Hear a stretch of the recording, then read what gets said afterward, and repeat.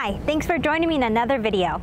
Electric pickup truck options are growing and Chevy wants to take its piece of the market with the Chevrolet Silverado EV. We have the work truck option with us today and it has the power of the Ultium EV platform. Let's see how the Silverado EV does.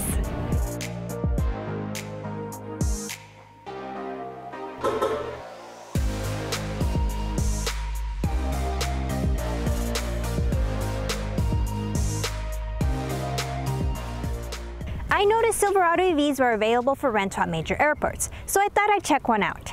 Chevy so far only has two options, the WT or work truck and the RST, which is what you as a consumer can purchase right now. The work truck has a 3 or 4 WT option. This one is a fleet vehicle for the rental company, so we've got the 3WT model. Keep in mind as a work truck we aren't going to get the fanciest options in here, but we do get to try out the Ultium platform. Most of the EV manufacturers that have been producing trucks have been making more luxury trucks, so I'm happy to see Chevy is making a stripped down version for fleets.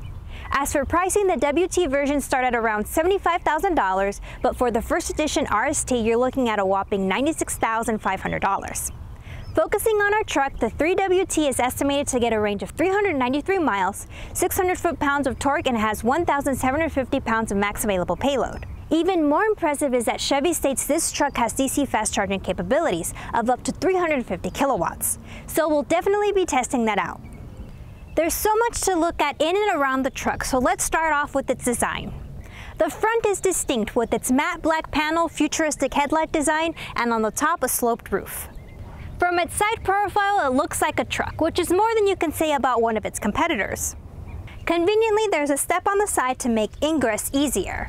Equipped on the WT model are 18-inch wheels, but on the RST you can get huge 24-inch wheels. GM put the charging port in the back on the driver's side, so this door doesn't look out of place in comparison to their gas variants of the Silverado. The exterior dimensions of the truck are very similar to the F-150 Lightning, give or take an inch from the width and length, so it still doesn't fit in the garage. We have a very large frunk. Like the F-150 Lightning, the frunk allows for flat loading, which is fantastic. These slots here are for some accessories that you can get, like dividers, and Chevy even has a slide-out toolbox planned. You've got a 120 volt outlet here for powering or charging up tools, and it's well lit at night too. We've used this cooler in the Rivian and the Lightning in the past. Let's see if it fits here.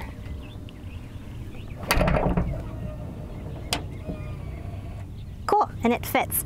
And be careful with your fingers under here because once you slam it down, it'll automatically start closing. And I don't think it'll detect your fingers there, so be careful.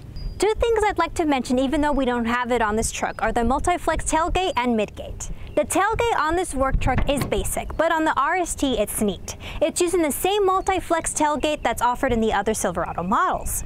You can pop a panel up to act as a bed extender or you can pop it down and use it as a step up into the bed. The second is what the Silverado EV is most famous for, which is its midgate with pass-through. This back wall would come down to accommodate longer items. Unfortunately, this feature isn't available in the work truck. Anyway, there are more outlets back here featuring four 120 volt 20 amp outlets and even a 240 volt twist lock outlet. This truck is ready for a work site. Let's continue inside. Since this trim is focused for work, we are not looking at anything lavish like what's inside the RST. In fact, it's so basic I had to make my own modification to the truck. This seat only has two adjustments, how far forward it goes and the back reclining. But what about the height, Chevy?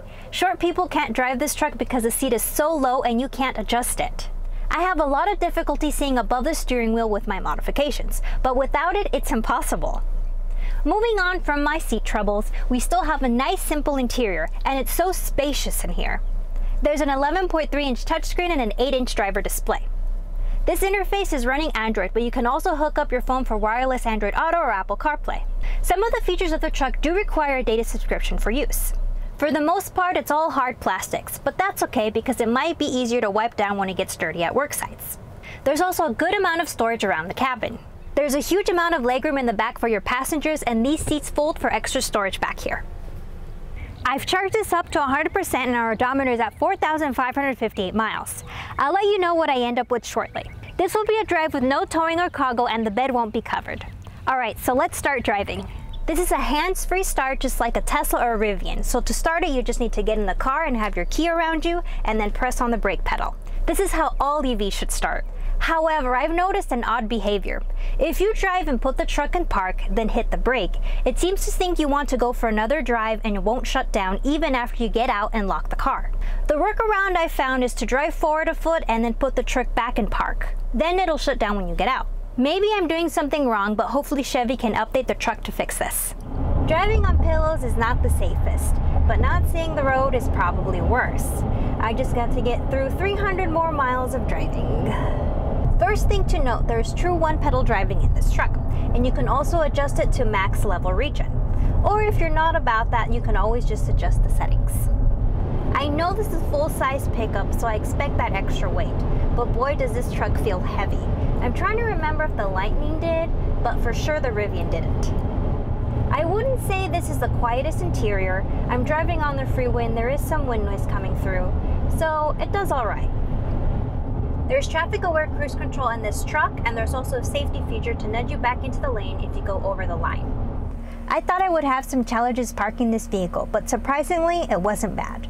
With the clear backup camera alerts and good turning radius, I was able to park with more confidence. Okay, time to get into some of the technical stuff.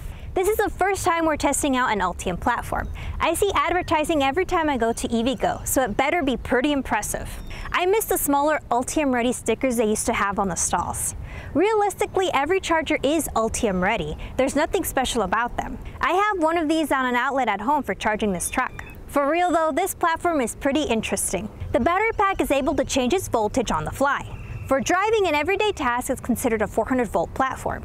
But when plugging into a DC fast charger, it changes its configuration so that it's a 400 volt or 800 volt platform. It's an interesting concept and I bet will help them with the upcoming transition to NACS. Another cool thing is that it has a wireless BMS. In most cars, the battery management system has wires running all over the pack to monitor its status. This leads to a lot of weight in the cables alone. Removing these makes the battery pack lighter, reducing cost and increasing efficiency. It's also modular, so GM can add or remove batteries to fit a particular vehicle. So something like this Silverado would have a lot more modules than the rumored Ultium Bolt. GM also seems to be pretty committed to vehicle-to-home capabilities. All cars they've released so far using the Ultium platform are compatible with their V2H enablement kit. The motors on this truck are pretty powerful too, getting 510 horsepower in tow haul mode and 600 foot-pounds of torque. It's able to tow up to 12,500 pounds and haul 1,750 pounds of weight in the bed. The motors on this truck are capable of 189 kilowatts of power output each. With the RST trim, it's capable of even more, getting 754 horsepower in its wide open watts mode. I like that name. And getting 785 foot-pounds of torque. I've brought the battery down to 10% and our odometer is at 4,902 miles. That means we drove 344 miles. So by my calculations, if we drove this all the way down to zero, we'd get 382 miles on a full charge. So we're 11 miles short of our 393 miles estimated range. Let's go to the DC fast chargers next door and plug into the 350 kilowatt EVgo charger.